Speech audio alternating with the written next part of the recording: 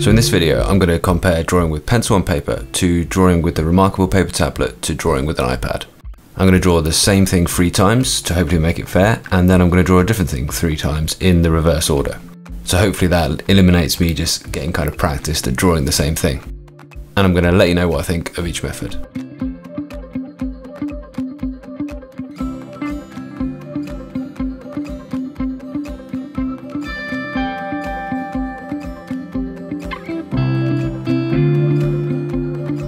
And at any point in the video let me know in the comments which one you prefer the look of. And if you like this video please do hit the thumbs up, that is a real help.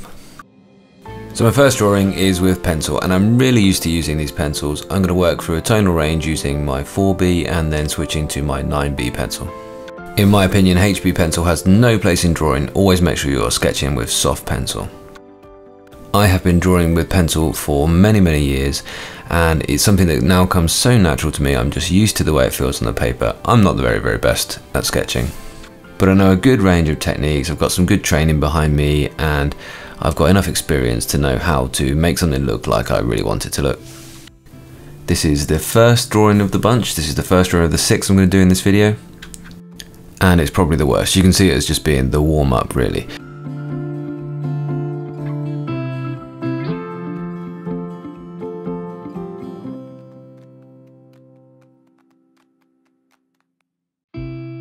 I'm going to do a drawing on nice cartridge paper with my pencils and then on the Remarkable and then the same drawing again on the iPad. But because in any sketching session you tend to relax and you tend to get a bit better as you go through, I'm going to then do iPad and then the Remarkable and then pencil paper last. So hopefully that makes it a bit fair.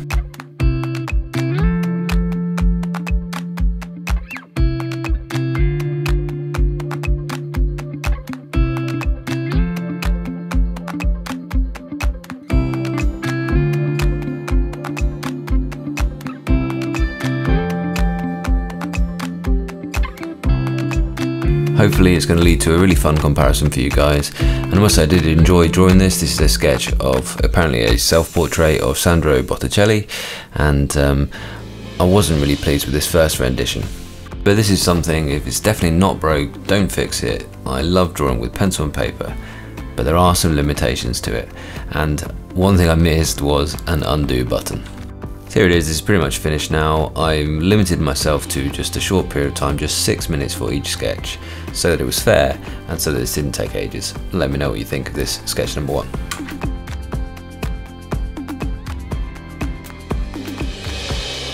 So now firing on to the Remarkable and straight away you can see the number of times I hit that undo button.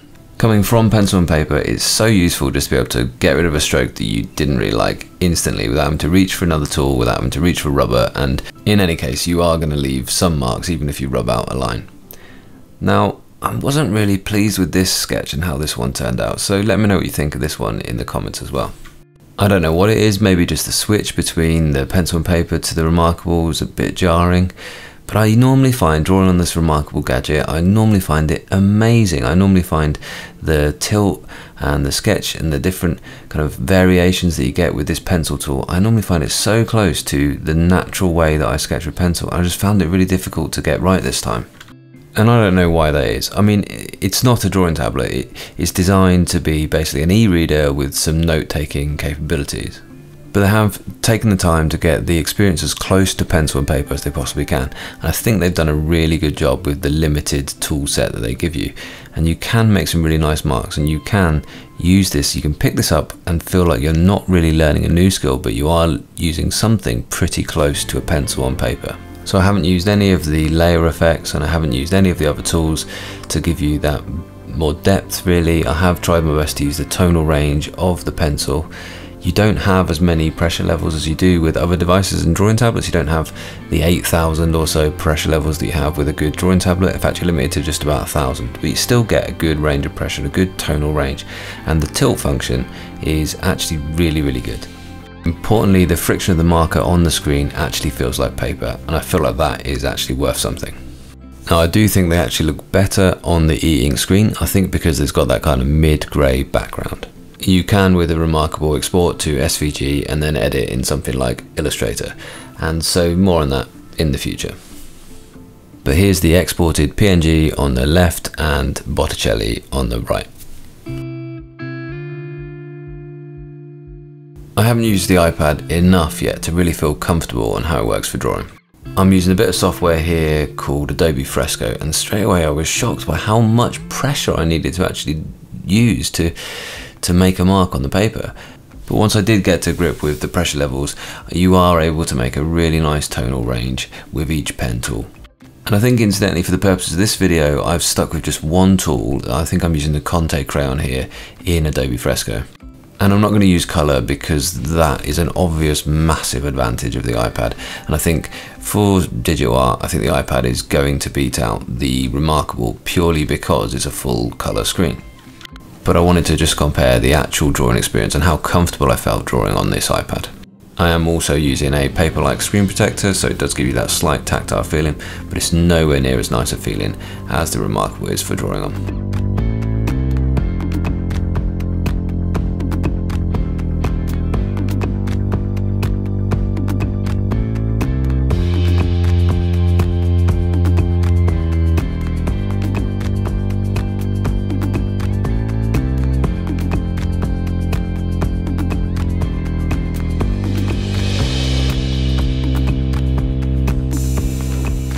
Now I am really not happy with the way this turned out, but however, I felt like I was starting to enjoy it once I got about this point in the sketch.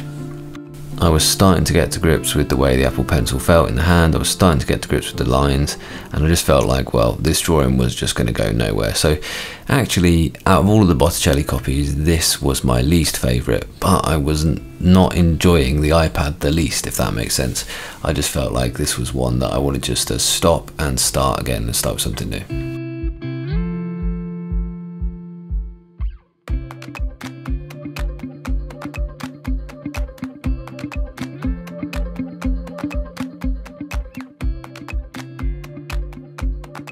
So here's the finished sketch after six minutes and let me know what you think. This is not my favourite of the Botticelli ones. So in the interest of fairness, I'm switching to a different drawing. I'm going to do something by Goya. It's a self-portrait of Goya. And I'm going to work back through the devices and to the pencil and paper. I'm still using Adobe Fresco here, but I've switched to just, I think, the soft graphite pencil and I haven't really made many changes to the tools. I think you can make them more sensitive. I think you can change the flow rate, you know, maybe you can change the sensitivity of the pencil itself. I don't know, maybe I just need to play about and get more used to it. But I actually felt like I was pressing so hard that my hand wasn't feeling comfortable anymore. Let me know if that's something that I'm getting wrong. Maybe I should change the sensitivity of the pencil. Do you have any experience with that? Do you find that you have to put undue pressure on the Apple Pencil compared to other drawing tablets or even just pencil and paper? This one did turn out better, I think. I felt a lot more comfortable using it. I felt a lot more like I knew what I was doing on the second go around with the iPad.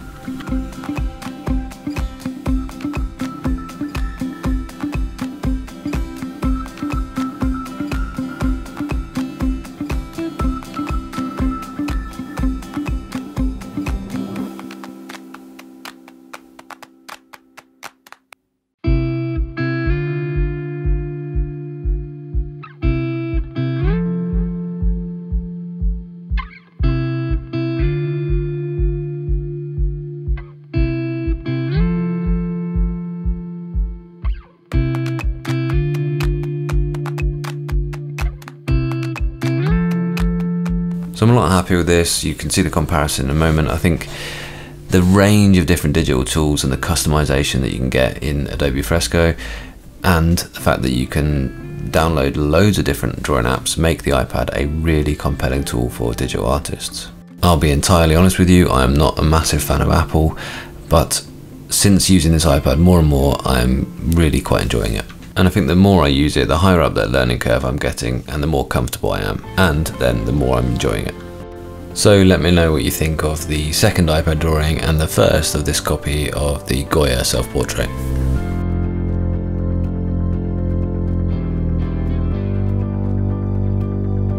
So back to the Remarkable and back to a bit more of the comfort zone because I'm really starting to enjoy drawing on this device. But once again I felt like I was a bit limited. I think coming from the iPad to this, I was feeling limited by that tonal range all of a sudden. I did enjoy once again having, you know, not to press quite as hard, quite as firmly to get the marks that I wanted, but I think you can see that I'm missing the kind of depth of tonal range that you get maybe with those extra layers of pressure sensitivity. I really thought that the thousand pressure levels that you got with the Remarkable was enough for digital art, and I really have always thought that drawing tablets have a ridiculous number of pressure levels. You know, a professional drawing tablet has 8,000 pressure levels. Surely that's way more than you need, but I think actually what that does give you is not just more tones you can create, but more control over those tones. But there is no denying that Remarkable have made a really good tool here. I'm just looking forward to them making perhaps a device which is geared towards artists. Because the Remarkable is so light and it's such a pleasure to use. The feel of that pencil, that Remarkable marker on the screen is so like pencil and paper that it's so natural that I could really see this as just being my standard sketchbook that I carried around. But I think before it beats the iPad and before it beats straight up pencil and paper, it does need to have a little bit more functionality.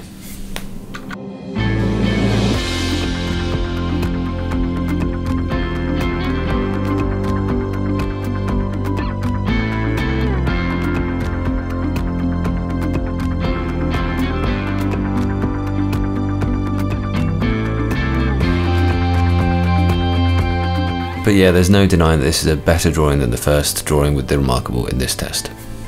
I think that's more about me and I'm getting warmed up as I'm sitting down and getting more used to doing the right amount of work in those six minutes that I've allotted myself and therefore I think I'm getting better at drawing these. But please do comment below and let me know what you think of the second Remarkable drawing and the second Goya self-portrait copy.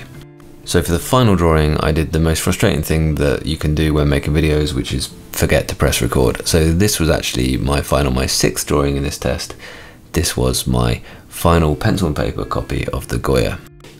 So I battled that frustration and I didn't give up and I did record one more time. So this is kind of a bit of a cheat because this is the seventh drawing that I've done in the whole thing.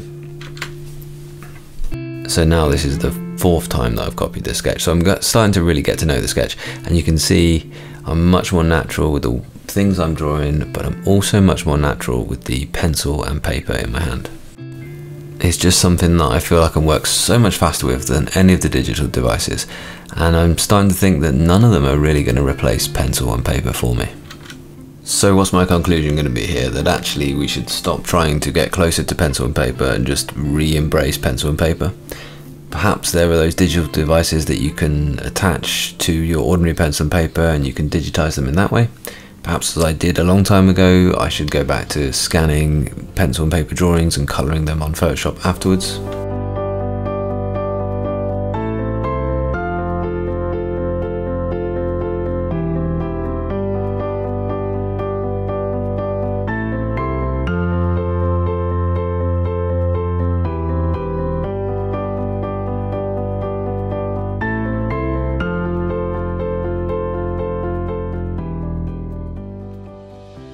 There are loads of options, but in fact I enjoy drawing on all three of these devices.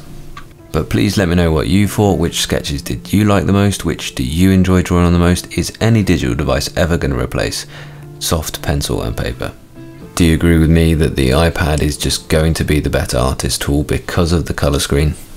Or do you think that there's actually space enough for all three methods and even more in our digital art vocabulary?